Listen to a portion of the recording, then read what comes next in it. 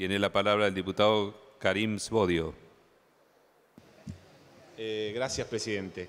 Eh, bueno, era para nosotros, realizamos un par de preguntas que la verdad que no, ninguna tuvo respuesta.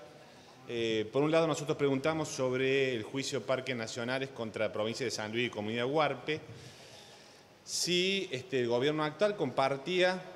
el concepto que había tenido la anterior administración de parques nacionales con respecto a la devolución de la Sierra de las Quijadas al pueblo huarpe, que había manifestado que era un argumento vacío de contenido e improcedente. Principalmente queremos saber si el Estado Nacional en la actual gestión continúa negando los derechos de la comunidad huarpe sobre la Sierra de las Quijadas. Si es así, creemos que es una posición no solamente equivocada, sino que está en contra de todas las regulaciones legales nacionales e internacionales que se han dado eh, desde la creación del parque a la fecha con respecto a las comunidades originarias. Invitamos a la reflexión del Poder Ejecutivo Nacional, invitamos al diálogo y a trabajar en conjunto con la provincia de San Luis como eh, manifiesta la propia Constitución Nacional. Otra de las preguntas que hicimos, que prácticamente no tuvo respuesta, que fue de los aportes del Tesoro Nacional, nosotros quisimos preguntar cuál era el criterio de asignación que se utilizaba, cuáles son los parámetros para la asignación,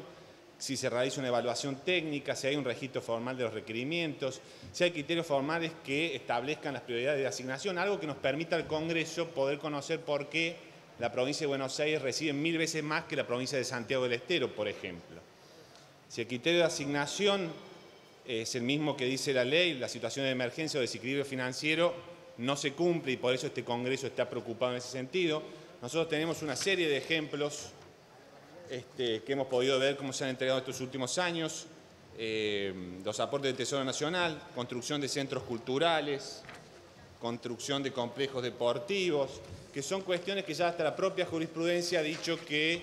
este, no pueden ser objeto de, aportes del Tesoro Nacional. Esto nos preocupa y creemos que tiene que ver también el desmanejo que hay con los aportes del, eh, aportes del Tesoro Nacional con el déficit fiscal.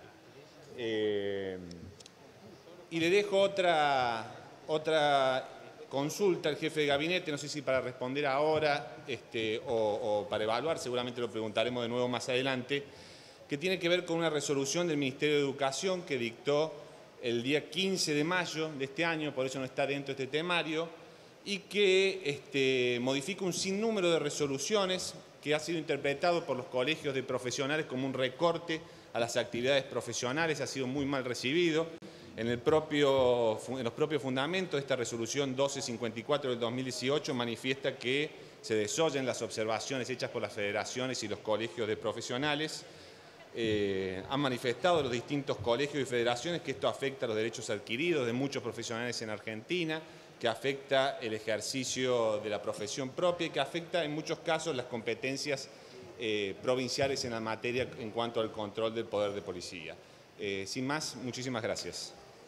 Gracias, señor diputado.